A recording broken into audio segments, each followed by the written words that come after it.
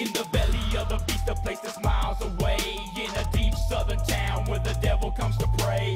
A choir sings with the eyes sewn shut by a stream that children play and water flowing with blood. The pastor stands on his pulpit while preaching to hell. On a hilltop church with demons ringing the bell. They told twice for the missing and the recently departed. In the pews, the congregation sits a hundred days rotted. Suffering is all around, the stench of death in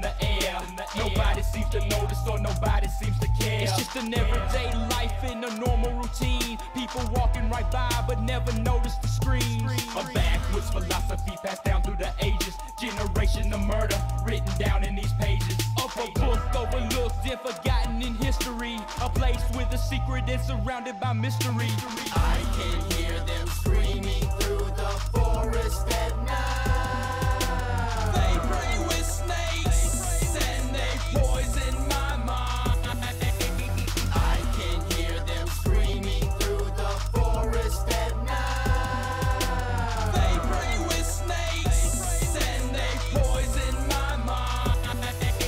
a curse or a sickness that raised in the minds of these sacrilegious hillbillies raised with the swine? No remorse in the souls, in the hearts pitch black.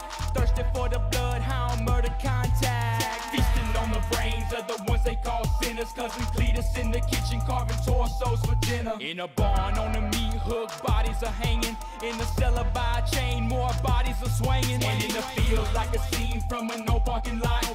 Abandoned for so many years, cars left to rot. In a garden in a hole dug deep. All the bones and the belongings all piled in a heap.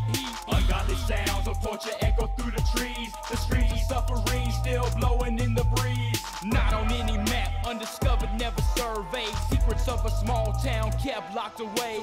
I can hear them screaming through the forest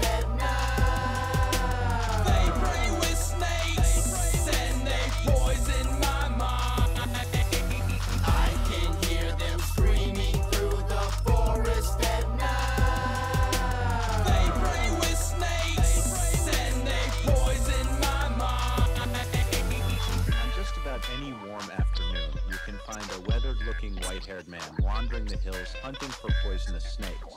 Not to kill, but to bring back with him to church. He is a serpent handler. I can hear